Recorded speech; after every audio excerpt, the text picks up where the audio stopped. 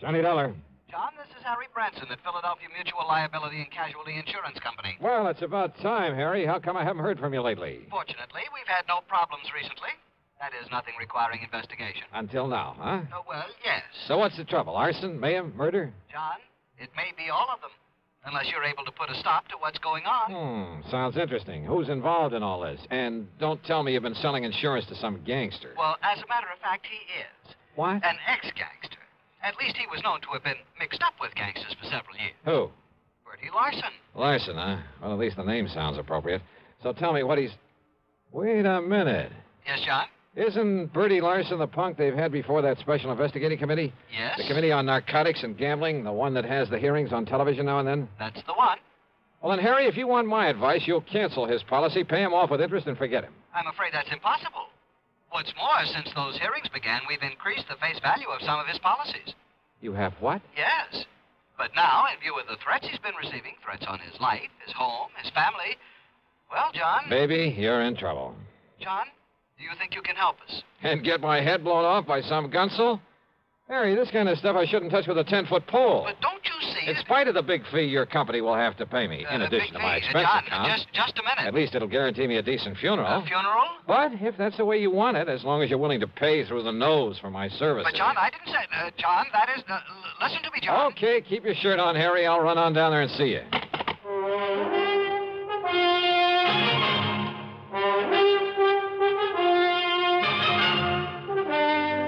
CBS Radio brings you Bob Bailey in the exciting adventures of the man with the action packed expense account, America's fabulous freelance insurance investigator. Yours truly, Johnny Dollar.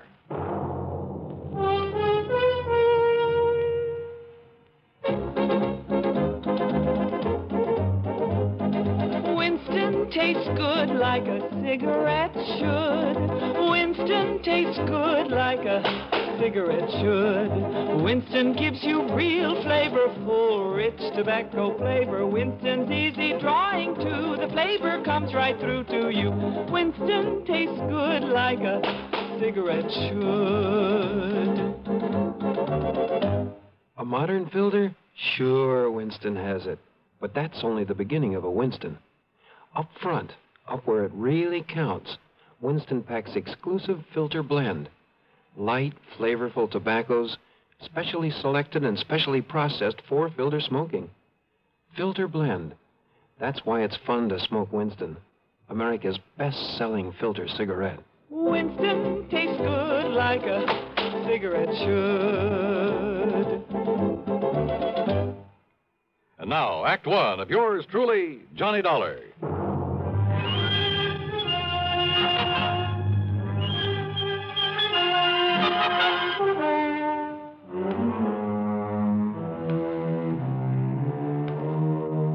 Expense account submitted by Special Investigator Johnny Dollar to the Philadelphia Mutual Liability and Casualty Insurance Company. Following is the account of expenses incurred during my investigation of the Larson arson matter. Expense account item 1 1120 for a train to Philadelphia and a taxi to Philly Mutual's office over on Walnut Street. It was late in the afternoon, but Harry Branson, the perennial worry ward, was still there waiting for me, and he wasted no time in getting down to business. Now, Bertie Larson, or more properly, Herbert James Larson, lives out in Penfield, John. Oh, yeah, that's kind of part of West Philadelphia, isn't it, Harry? Uh, just beyond. He and his wife live in a very nice one story brick home that we've insured for some $30,000. and he must have done fairly Also- well in the rackets, and had sense enough to put some aside. Also, John, we've insured his personal property, furniture, clothes, all the things in the house and so on, for some $20,000 No kidding. And didn't you say you've increased some of his insurance lately? to the figures I just mentioned. In the beginning, he was underinsured, but the policies provided for the increase at his option, provided, Yeah, of well, course, that's all right. You don't need to go into provided, detail. of course, that in no event should stipulated coverage exceed actual appraised valuation. Yeah, well, now, Harry, in if you... In accordance with paragraphs A, B, and G of Article 21 of our standard comprehensive policy. Harry... Hmm? Oh, oh, yes, John. Also, his life is insured with us for $20,000. Hmm, making a total of 70000 70,000, yes. So if everything goes, including Bertie himself, somebody's liable to collect plenty. Exactly. Okay, who's the beneficiary? His wife, Nora. I see. And now you say that somebody's been threatening him. Oh, yes. Ever since he agreed to appear before this investigating committee. Uh huh. What kind of threats? Over the telephone, he tells me, warning him that if he continues to testify, well, they haven't directly threatened his life, as I understand it, but they might as well have. And then last Oh, week. Wait a sec, Harry. Haven't the police been in on this? Oh, yes, yes, they have. And for a while, they kept some men stationed about his place. So, naturally, nothing happened. But last week, John, when he returned from one of the hearings, he phoned me and said that he'd found a can of gasoline standing on his front doorstep. Ah, just a hint, huh, of what might happen if he doesn't clam up. Yeah, that's an old style gang warning. Yes, a very obvious threat to burn up his home. But he's continued to appear at the hearings? Yes. And if he's killed off by these people, if his home is burned out from under him. By by what people, Harry? Has he any idea who might be behind this monkey business? Well, of course. It must be someone who was involved with him in narcotics and illegal gambling at one time or But another. But he doesn't know exactly who. Not specifically. He says he never recognized the voice on the phone, and of course it was probably well disguised. Yeah. Do you suppose he's still involved in the rackets? Oh, apparently not, or we'd never have sold him insurance. But then who can be sure? The point is, John, that if anything does happen to him or to that home of his, the company will have to pay out sizable sums of money. Yeah. Uh, naturally, we don't want to do that. No. And if he can be protected properly, well, John, that's why I telephoned to you. Yeah, but Harry, the kind of protection you seem to want for him is something for the police to provide. John, I am convinced that the protection they are giving Bertie Larson is wholly inadequate. you told them so? I most certainly have. But they they simply refuse to listen to me. They, well, that is why I called you. Oh, I'm I'm sorry, Harry, but it seems to me that Well, okay. Give me his address. Tell me who the police contact is, and I'll see what I can do for you. I dropped my bags at the Bellevue Stratford. Then, having missed my lunch, I spent item two, five and a quarter for a drink and some early dinner. Item three, 50 bucks deposit on a rental car, and I headed out through West Philadelphia to the address in Penfield. As Harriet said, it was a nice place, not large, but neat and modern, sitting at the end of a new street. Apparently, there was no one home. I looked around to see if there was a patrolman watching over the place. No one. Nothing. And the street itself was deserted. I was just about to swing around and head for police headquarters when I noticed a thin streak of light from one of the rear windows in spite of the drawn shades. Yeah, I suppose I'll learn one of these days not to be so curious. But I walked quietly up the driveway beside the house. And Then I heard something. Just a little sound, as though someone had quietly opened or closed a door at the side of the garage in the rear. And I suddenly caught the smell of gas, of raw gasoline. It was coming from the garage. I carefully edged my way on back there, hoping I wouldn't trip over something in the darkness that would give me away. The smell of gasoline was stronger now, much stronger. My next step was into a puddle in front of the garage door. I remember bending over to sniff at it, and it was gasoline, all right. And I remember a flashlight stabbing through the darkness behind me. But as I rose and turned. Oh,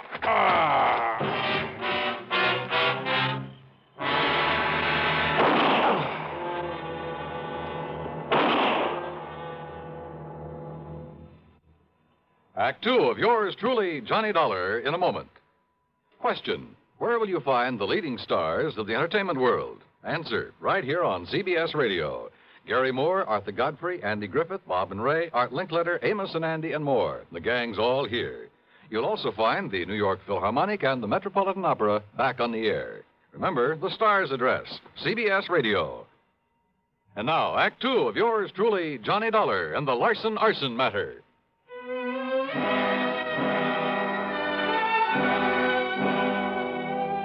I came to in a hospital room, and I had company. One of them was in a blue uniform with brass buttons with the stripes of a sergeant on his sleeves. So you decided to come back to the land of the living, huh? The other was a man of about 40, big, beefy. And in spite of his rather flashy clothes, he looked as though he hadn't shaved his fat, truculent face for a couple of days. Oh, well, I'm sure glad he's okay, Sergeant. Only, how was I to know he wasn't somebody come to carry out them threats against me? Oh. You know, you're lucky you didn't aim those shots at him, Bertie. Me actually trying to kill somebody, Sergeant? Like I told you, I know the noise it'd bring on the nearest flatfoot. Bertie, huh? Yeah. uh, Gee, Mr. Dollar. Now, you just take it easy, Dollar.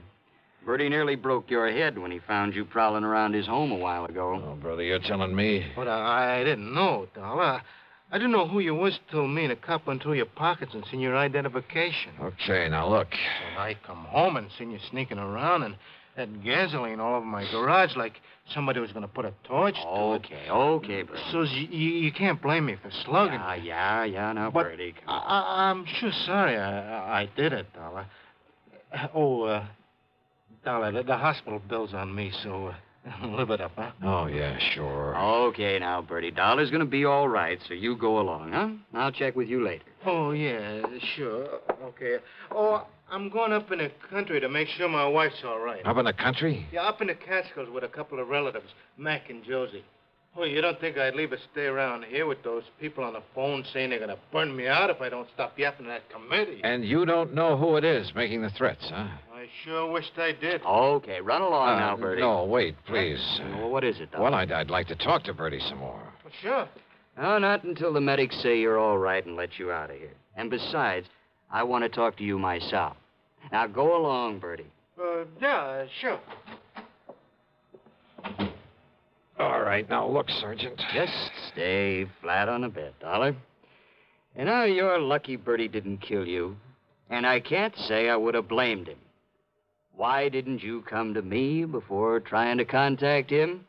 I could have given you all the information you need about this case. Now look, Sergeant. Not only have saved you a lot of trouble, but kept you from getting banged on the head. Okay, okay. Ah, all you private dicks are alike. Now listen, will you? As for that nosy guy over at your insurance company who's been bothering me three and four times a day, well, now I've got two of you to keep from upsetting the apple cart. What's that supposed to mean? Bertie Larson isn't the man this investigating committee's after. What? Of course not. He's strictly small time. And he hasn't even been that since he served a stretch on a burglary arson rap. What about the narcotics and gambling that's under investigation? He was never any more than a messenger boy for the big shots. Well, now, what's the importance of these hearings? Now, don't you see? If the committee can hold him up as a guy who talks and doesn't get hurt by him, well, it'll help them flush out some of the others. And who knows? Maybe some of his information might have a little value, and he'd be glad to give it. Yeah? Why? Bertie's been trying to run a used car business. Legitimate, or is it cover up for something else? Legitimate. You're sure of that? Dollar, that stupid punk has been so scared since he got out of the clink. Yep. And listen. I'm listening. The publicity that he's been getting from the hearings, you know, because of cooperating with the committee, why, it's practically made a public hero out of him. Who knows? Maybe it'll help his business enough to get him out of the red for once. That's why he's singing like a canary, probably making half of it up just to keep his name in the paper. Well, what about the threats he's been getting? You know something?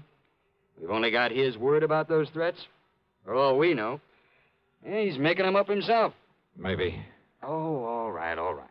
So what if some of his old pals are calling him up, telling him to lay off, huh? They try anything foolish, we'll nab them. Matter of fact, there are a few of those guys around here we'd just love to have something on. So maybe all this will flush him out for us. Or get Bertie killed? Ask me. I don't think anybody'd even bother to rub him out. I hope you're right, Sergeant. Sure, sure. So, Dolly, that's that. Uh, no, when you're wait. up and around, come on over to the station and see me. But meantime, leave this to me, will you? Oh, wait a minute, will you? What about that gasoline he mentioned that was spilled all over his garage? Oh, one of those shots he fired. And now look. drilled a hole in a can of gas he had lying around. Yeah? Sure, saw it there myself. Look, Sergeant. See you later, Dolly. Wait a minute, will you? Sergeant! Sergeant!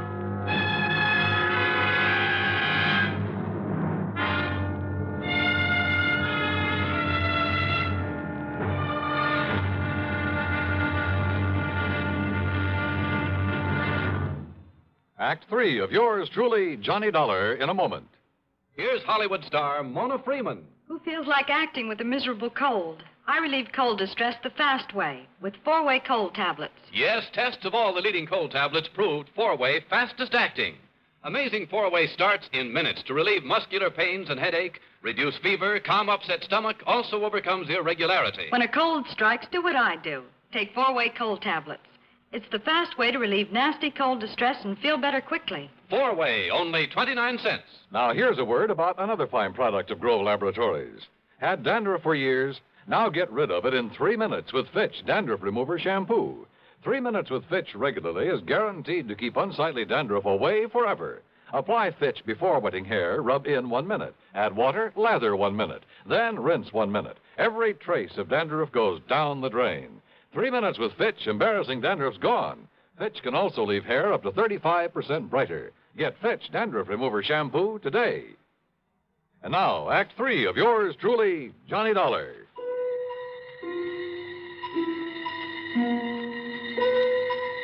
There was something all wrong about the whole setup. I'd smelled the gasoline around that garage before Bertie Larson had slugged me.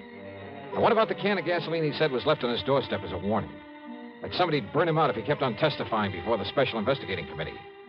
Were the police overlooking that? And then suddenly I began to smell a rat, a big one. Don't ask me why. I climbed rather painfully out of the hospital bed, put on my clothes, and pulled the corny trick of going out by way of the fire escape. Luck was with me. The police had left my rental car in the hospital parking lot. I spent item four a buck and a half on a bar and a grill for a slug of brandy and some hot black coffee. But I was still feeling pretty rocky, so I took my time driving out to Bertie Larson's place again. As I stepped out of the car, I noticed a light coming from an open window at the rear and a big sedan back in front of the garage, the trunk of it wide open. Bertie's or the car of someone who'd come to put the torch to his home. I didn't have to wait long for an answer.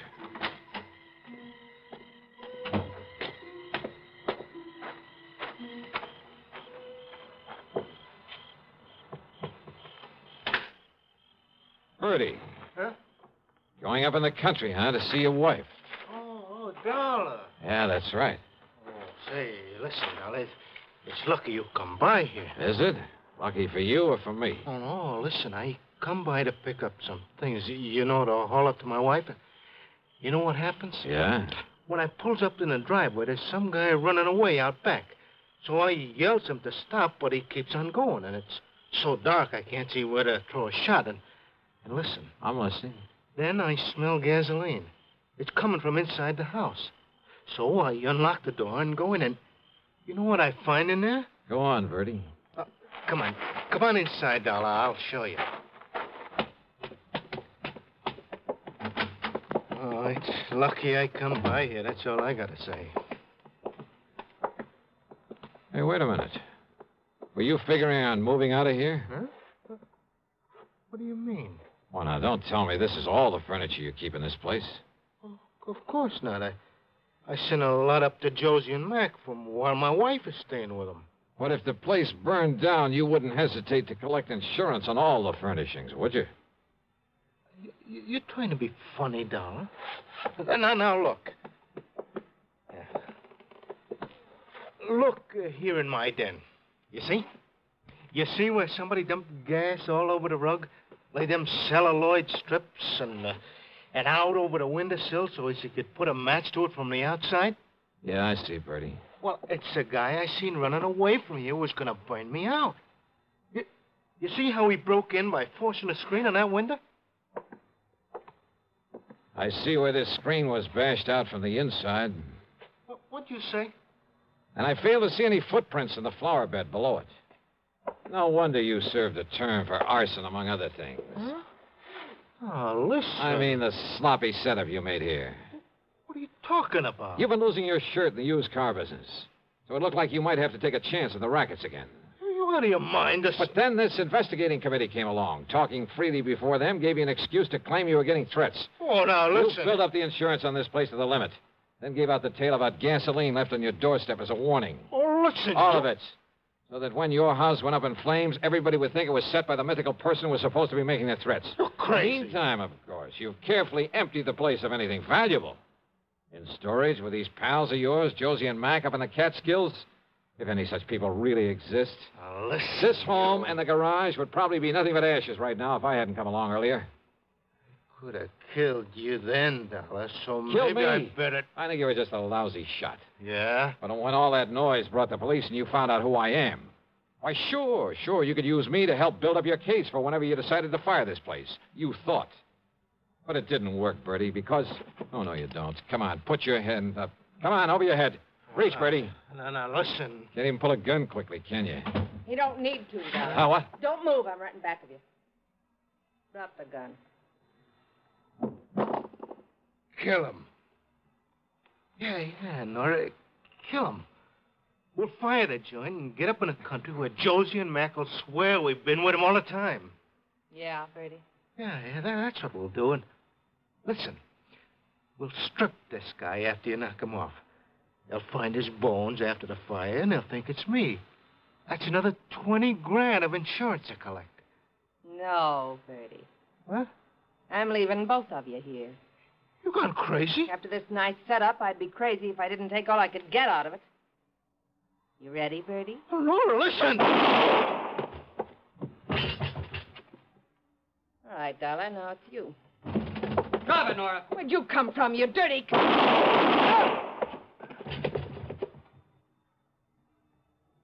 Thanks, Sergeant. Well, that's okay, Dollar. But you can be mighty glad that hospital called me up when they found you'd sneaked out on them. You know something, Sergeant? Yeah? I'm mighty glad.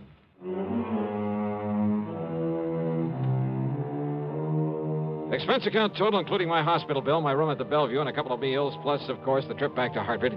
Seventy-nine seventy-five. Remarks? Why bother? From here on in, it's up to the company and the police to straighten things out. Yours truly, Johnny Dollar.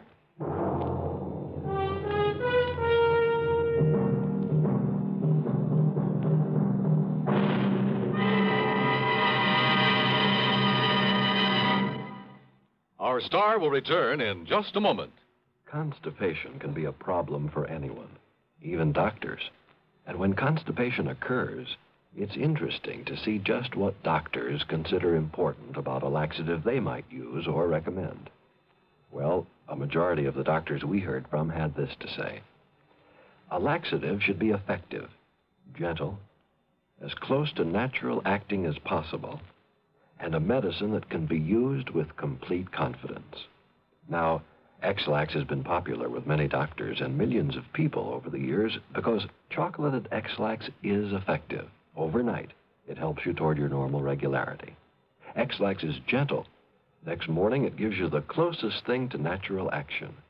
And that's why many doctors and millions of people use Ex-Lax with complete confidence. Ex-Lax, the laxative that helps you toward your normal regularity gently, overnight. Is Ex-Lax in your medicine cabinet? Now, here is our star to tell you about next week's story. Next week, Sarasota, Florida. A body floating in a bayou, and one too many suspects. Join us, won't you? Yours truly, Johnny Dollar.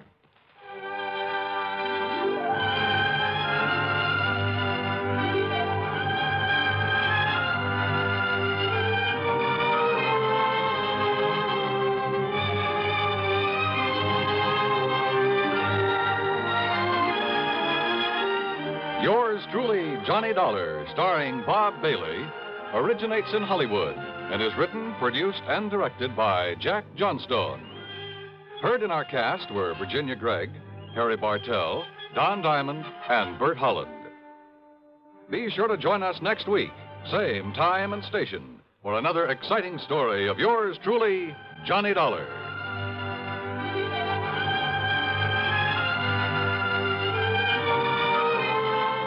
This is Dan Cubberly speaking.